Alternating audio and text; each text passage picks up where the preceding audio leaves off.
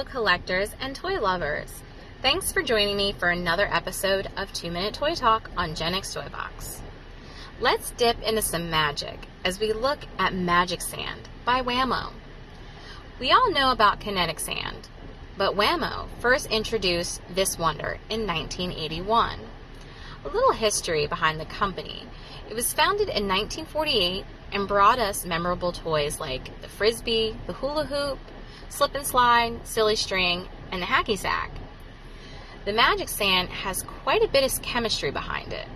The overall appeal of this sand was that it seemed like typical sand at first, but it changed texture when mixed with water. Essentially, the sand granules were coated with a silicone based substance that repelled water. The appeal of this toy was that players could create things underwater and it would hold its shape. Then, when the sand was brought out of the water, it would revert back to its grainy nature. As you can see, the packaging really focuses on the magical aspect of the sand.